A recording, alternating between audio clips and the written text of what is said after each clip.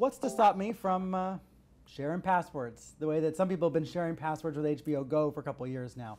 Are you all going to start to clamp down on password sharing? We look at it very carefully. Mm. Right now, password sharing on HBO Go is just simply not a big number. Mm. Should it become a big number, we will deal with it. We will change the number of concurrent streams that are available.